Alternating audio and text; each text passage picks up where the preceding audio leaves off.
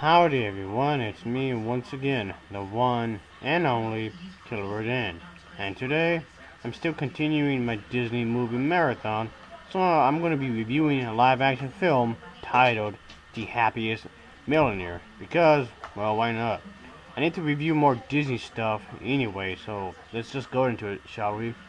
So, of course, as always, let's get into, into the plot, shall we? Here we go.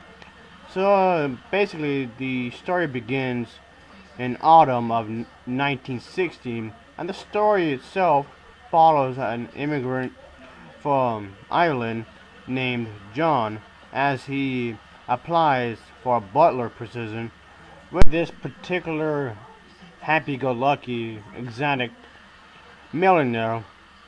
And let's just say things do follow suit even though the family is a bit strange so, well, things do happen anyway as the story progresses. The Happiest Millionaire was released first to VHS tape in 1983. Uh, then it was later reissued in 1986, three years after the original release. Both versions of this release are of the 144 minute version.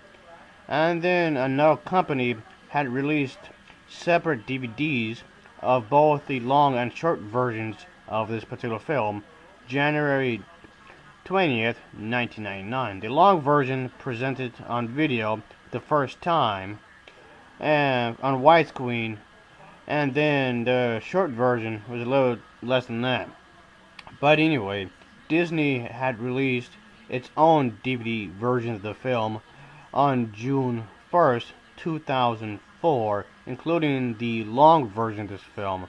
It only really missing the other versions of this film, of the transfer music, at the end of the third act. It's considered as a box office failure, which in, in some ways is a sad thing right here because lots of the music is really nicely done, folks. It's beautifully made with the music. So those songs are really hear are top notch. So the music itself is really good here, folks. Well, it's a Disney movie, so what do you expect, of course. The musical numbers are really enjoyable to hear and look at, and very engaging as well. And I thought the actors and actresses did the music really well done, folks. So I can honestly say that the overall acting is actually really well done here, folks. And yes, this film looks really expensive to be made. Oh boy. But this film is definitely gets a recommendation for me, folks. This is definitely one of the better live action Disney films I've seen over the years. They sure don't make these live action films like they used to, folks. I just find it kind of odd that the uh, charm of the old Disney films are definitely much better than a lot of the newer stuff they made over the years. Definitely from like the 2000s and up, the live action Disney films don't really have the same charm, the same wit, the same kind of atmosphere that the original films did. And overall, this is definitely a pretty good film, folks. And I do recommend it because it's actually really well made. I do like the acting, as, uh, as I said a moment ago. Even the outfits were really nice from the wardrobes that were designed for the men and the women as well. So, not the, the outfits, even the simple outfits were nicely done in here, folks. So I did like that. So that's definitely a good thing there.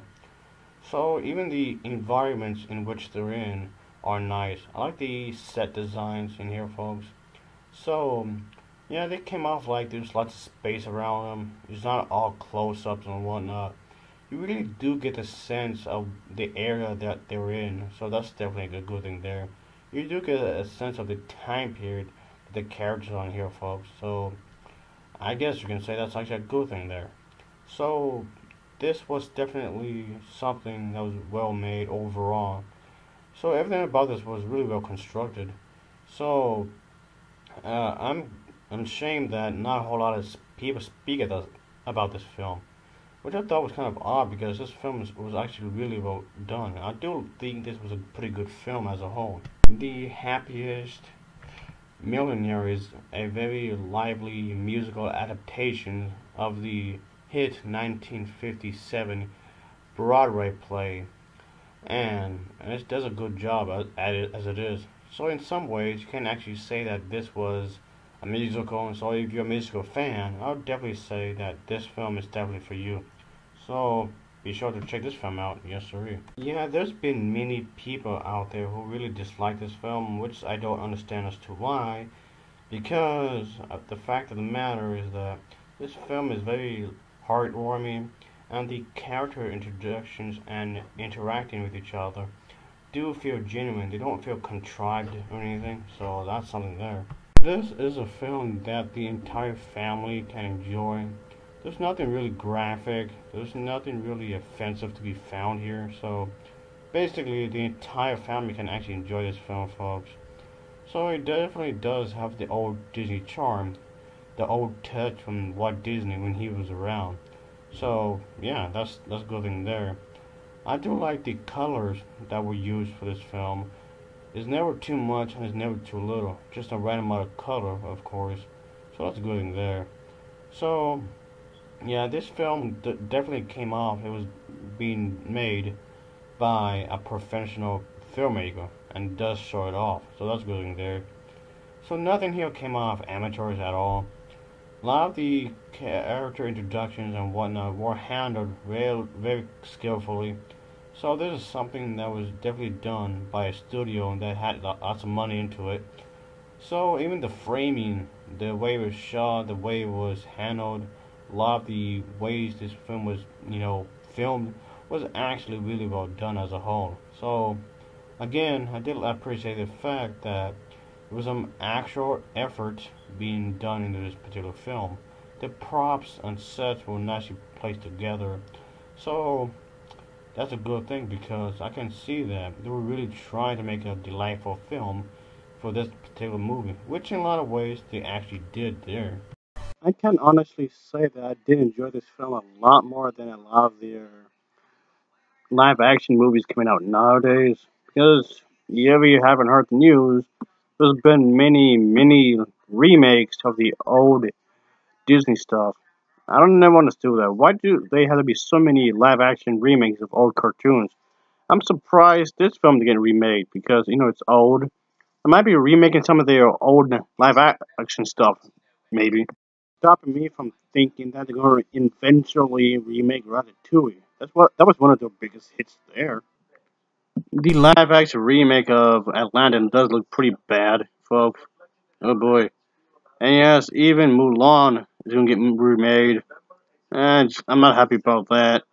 Even there's been some stuff for the live action film for this one as well, The Lion King. I'm not really hyped about that at, at all. And there's been some stuff so, for Dumbo as well. I know you really don't care, honestly.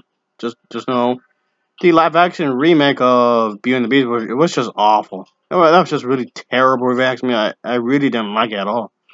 So, why can't just spend the resources on something else instead of continuing the story?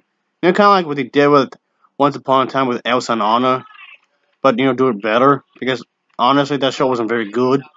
Just it was just nah, just whatever. It comes off a really convoluted story and whatnot. I mean, I got nothing against those characters or anything. I just came off that show. Came off like a, a waste of potential. We could have had something there. That's all yeah, I'm saying. If you haven't seen this film as of yet, I would definitely say give this film a shot, folks. Yes, sir. It will get an overall rating of a 6.8 out of 10. It gets a 6.8 out of 10 for me because it's pretty solid. As always, thanks for watching and take care. See ya.